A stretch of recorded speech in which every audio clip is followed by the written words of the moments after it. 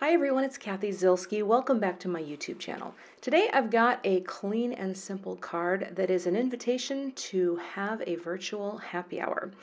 I created this stamp set back in 2017 when I first started designing products for Simon Says Stamp, and I could not have guessed that this would be something that I would be doing in our modern era. All right, let's jump in and take a look at the products I'm using for this simple card. The set is called Happy Hour, and there's just a bunch of little icons of your favorite cocktails and sentiments, including the prescient Want to Skype for Happy Hour, which I think in this spring of 2020, a lot of us are doing. I've got the coordinating dies as well, and then I've got a few other products here that I'm going to be using. I've got our little rainbow of Gina K Design inks, and I've got some embossing powder and Versamark and some cardstock. I'll be using Neenah Solar White 110 pound and just a little black cardstock from Simon Says Stamp and a few other things as we go. So let's jump in. I'm going to be stamping today with my brand new Black Misty. This is a new version of the Misty with black rulers. This is from Hero Arts and My Sweet Petunia. Love the Misty, and as I like to say, can you have too many Misties? I mean, I suppose you can if you run out of space, but this is what makes stamping possible for me. So I'm going to choose the cocktail styles that I want to stamp and lay them all out on my cardstock. True story, I don't really drink right now. I kind of dialed back my, my red wine intake oh, a couple years ago because I was having some issues with high blood pressure. And it turns out if you're me and you like to drink red wine, the only way you get it all down is with bowls and bowls of Pepperidge Farm goldfish. So we, we had to cut that out. Now you'll see there that pink one, I forgot to turn the film function on on the camera. So I stamped that in passionate pink, followed up with this lovely sweet mango for the orange. And the thing I love about the Misty is that it does allow you to stamp in the exact same place as long as the magnet is holding your paper there, right? And you can just keep stamping repeat stamping, which I would not be able to do freehand, let's, let's be real, especially not if I'd had a cocktail or two. I've never done a crafting while drinking video. Never say never.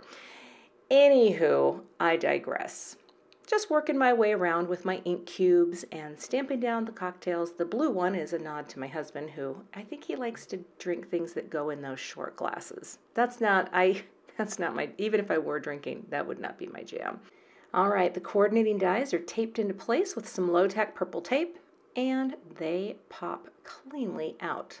Ah, just a happy little collection of cocktails and drinks. Now for the sentiment. I'm going to line it up here on my Misty.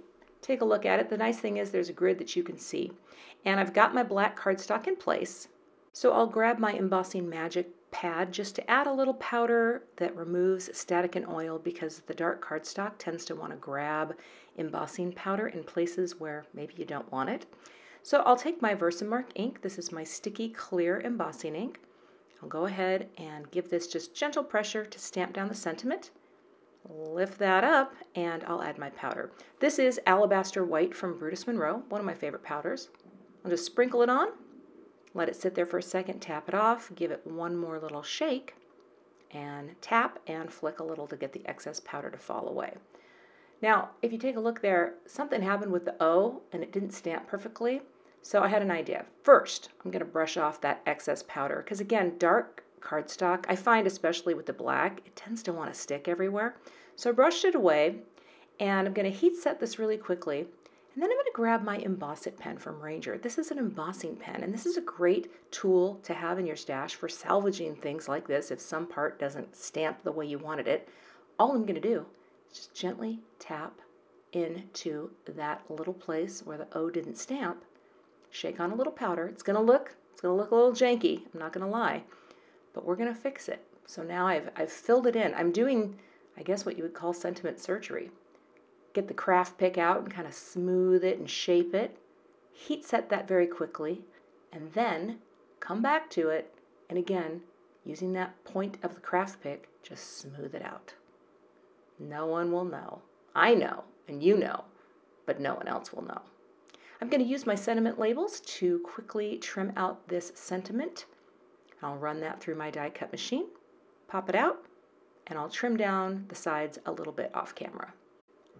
Next, I'll prep my card base, and this is the Neenah Solar White 110 pound Classic Crest Solar White. And I'll fold this down, press it with my Teflon bone folder, and this is five and a half wide by four and a quarter tall, which is a US A2 designation. I'll tape this closed because that cardstock is so thick it likes to pop open, and I like things to be flat. So I'm going to bring in my clear T-square and just tape it down. I like to tape it into place sometimes so once I know where things are going, the ruler doesn't move. And I'm popping this sentiment up right in the center using some thin foam squares that I've cut apart and placed on the back. And then I've used the same foam squares on the back of the little cocktail icons, just sort of arranging them, placing the first three down because I doubled up the foam squares on both the little martini. Is that a martini? I think it is and the old fashioned, if you will, because I wanted those to have a little more dimension and sort of pop up just a little bit higher than the other drinks. I think that looks pretty cute. Now, to finish the card, I grabbed some crystalline drops from Gina K. I like using this as an adhesive, especially for things like silver sequins. And I've just placed five silver sequins. These are from Pretty Pink Posh sort of cascading from bottom to top. It actually looks like maybe ice cubes are flying out of that old fashioned. I don't know. But the end result, just a little bit of shine on a very simple project. So really like the way this turned out and I will send this in a matching envelope. This is a passionate pink envelope from Gina K Designs. Her inks and envelopes and cardstocks match beautifully. You'll find all of the products that I used for this card linked below this video. Thanks so much for watching today. I would love to have you become a subscriber to my YouTube channel. And if you do subscribe, be sure to hit the gray bell below the video so that you don't miss the next time I post. Here are a couple other videos that you might be interested in watching. Thanks so much and have a great day.